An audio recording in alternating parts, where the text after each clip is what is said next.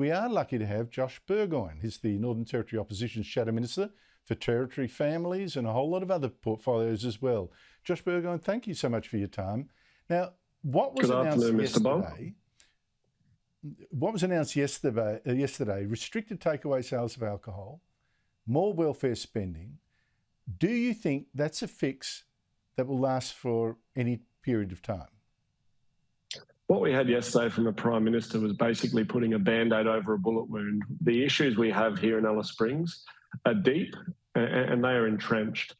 And what we have been calling for with the Mayor, with other federal members of Parliament, was some of the reintroduction of those stronger futures measures. It's really important. I've heard you speak for quite a while about voices. We have two Aboriginal women in Senator Jacinta Price and Marion Scrymgour, who's a Labor federal member of parliament. These women sit on opposite sides of the aisle in parliament, but at the end of the day have both been calling for a reintroduction of some of these measures that would see some of the most vulnerable, being Aboriginal women and children that live in some of these town camps, exposed to less domestic violence. So unfortunately, when the Prime Minister got off the plane yesterday, um, we were really hoping for action. We were really hoping for something that would spark change in our community. Unfortunately, what we've heard are more words and basically now a limiting of alcohol sales to four hours a day. And I've just come back from town, and what we're seeing now are long lines outside alcohol, uh, takeaway alcohol outlets right across the town. I just wonder if this uh, this sort of measure has worked anywhere really for long, because I mean, it, this is what gets me. It is not just right. It's not just in Alice Springs. It's in uh, well, it's in Yuendumu, it's in Wadeye, it's in Tennant Creek. Uh, we've seen bits of it in Katherine. We've seen a two-year-old rape there. I mean, it is in community after community, and just it just happens to be the focus on Alice Springs. I know it's worse there, but listen, we're told the voice, right? The voice. The Prime Minister reckons that's that's going to be the the magic bullet here. But what gets me is that when and the Chief Minister saying we've got to have local Aborigines decide more for themselves. The problem with this approach is that I don't see enough local Aboriginal leaders stepping up now. When the booze ban was dropped last year, just 15, one five, of the 144 Aboriginal communities that had their bans lifted asked for those bans to stay. Seems to me not enough local Aboriginal communities are helping themselves. It's a very interesting point you raise, and I would like to talk about um, an Aboriginal organisation in Congress in our town. Now, their CEO, Donna Archie, is an Indigenous woman. She's grown up in this town, and I actually went to school with her children. This is a woman who was, her home was broken into only a few days ago.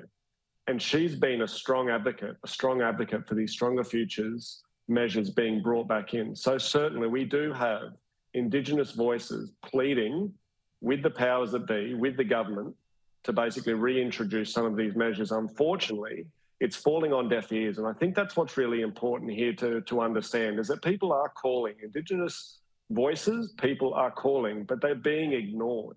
And I guess that really goes back to the question is, will having more voices necessarily eh, eh, achieve the outcome of people being heard if we're not listening to the leaders in our community now with Senator Jacinta Price, with Marion Scrymgour, and with Donna Archie, the CEO of Congress, which is a health organisation here in Alice Springs, when they are calling so loudly and clearly for these things to occur, yet those that are in power seem to be ignoring those very uh, strong voices.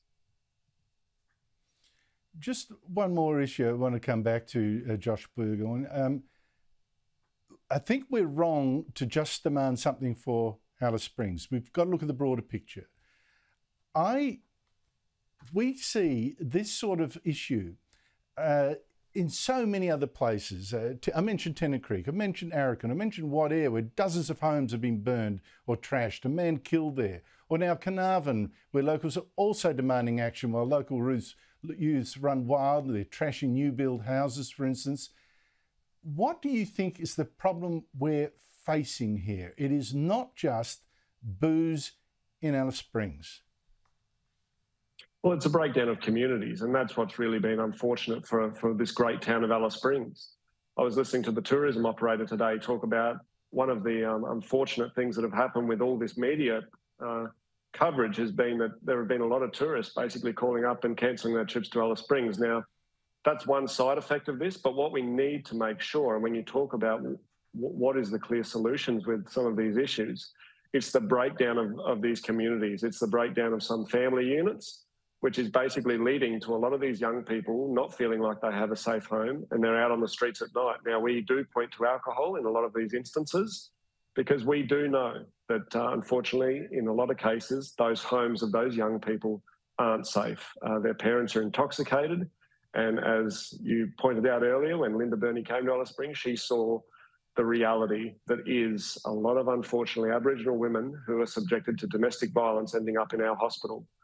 Um, these, it's a very complex problem. I'm not pretending like we all have the solutions, but we do know that we need some serious action to be taken. We do know that there are some hard choices that can be made. When we there's a lot of money that goes into supposedly fixing these problems, and it's not having the desired effect. So we need to seriously look at where we are spending the money currently. Is it working? If it's not, we need to make sure that we're investing in real programs that will actually go some way to fixing the issues that we face here like you rightly said, not just in Alice Springs, right across the Northern Territory and right across the country. This, this is correct.